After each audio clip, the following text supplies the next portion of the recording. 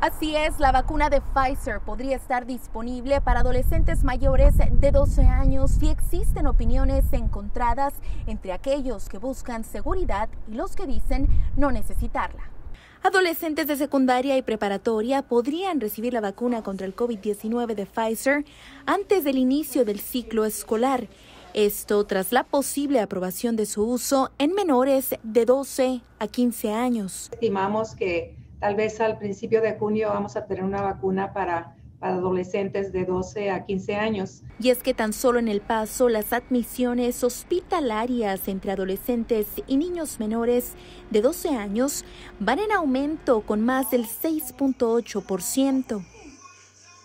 Estamos viendo en los adultos y también en los niños que después de que les puede dar COVID, pueden tener problemas crónicos de dolores de cabeza, musculares, epilepsia, problemas neurológicos, de corazón, pérdida de memoria, problemas para dormir y una lista completa de locuras. ¿Pero qué opinan los jóvenes?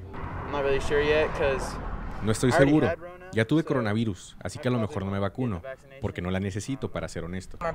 Mis padres están vacunados y toda mi familia también, así que probablemente me vacune. Creo que es una buena oportunidad.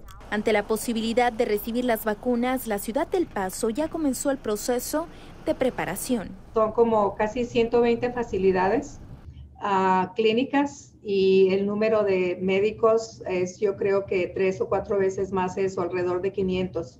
Entonces nosotros estamos acercándonos a ellos para para darles información sobre cómo pueden uh, hacerse, escribirse con el Estado para proveer las, las vacunas para, para los niños. Le recordamos que la vacuna Pfizer está disponible para personas mayores de 16 años. Para Noticias Univisión, Dalinda García. Más tiempo contigo.